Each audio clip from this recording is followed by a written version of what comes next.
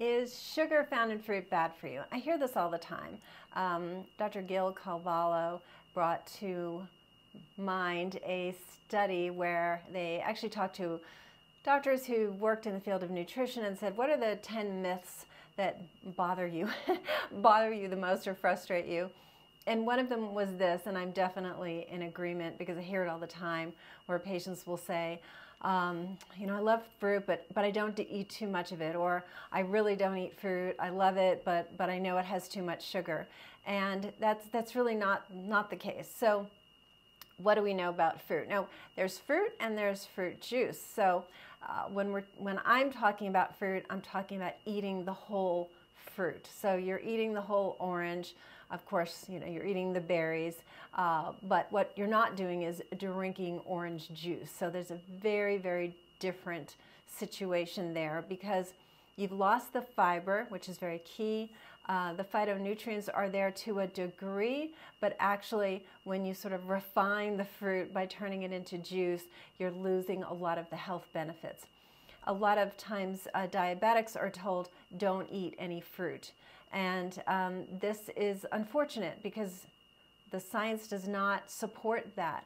There's been many studies that have looked at fruit ingestion and found that it doesn't compromise um, diabetics as far as their hemoglobin A1C, which is measured in their bloodstream, or their blood sugar levels, as long as they're eating it as part of a healthy diet, of course, and they're eating the whole fruit.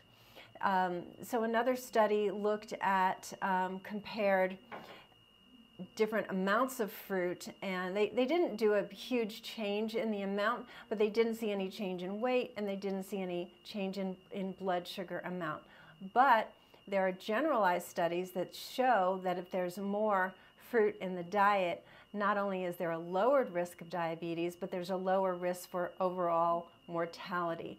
Now, there's an association of the people who are eating fresh fruit tend to generally have a healthier diet than people who don't eat any fruit or uh, are just drinking fruit juice and that's it. So there's it can be hard with some of these studies because there, there are habits that go along with certain things like I'm a fresh fruit eater and you probably have a lot of other good habits as well. But generally speaking, when we're looking at fruit and eating whole fruit, we're not seeing a problem with blood sugar levels. We're seeing actually a decreased risk uh, toward type 2 diabetes, more stable uh, diabetes. We're not seeing weight gain. So none of these things that um, is attributed to fruit in a negative fashion has been found.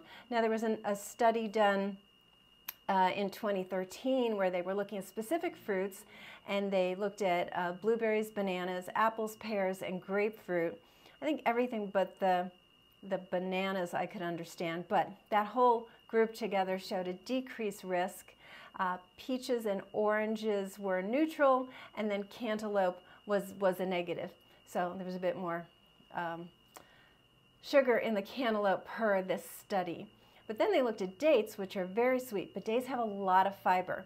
And they saw a benefit with dates, a benefit with eating whole grapes, again, not drinking the grape juice, which is pure sugar, uh, but whole grapes, whole dates.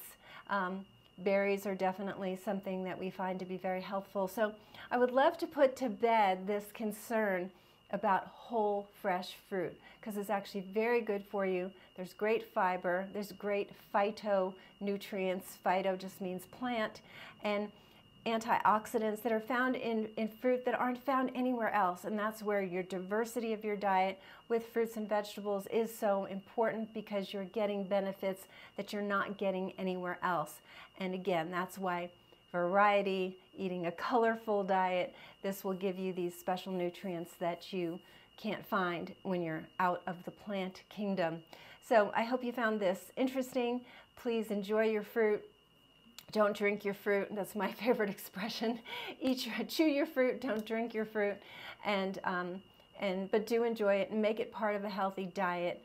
And um, if you enjoyed this information, please give me a thumbs up and subscribe to the channel so more people can see our information. Let me know any other questions you have regarding diet. I know it can get confusing out there, uh, but healthy fruit can definitely be part of a really healthy diet, so enjoy.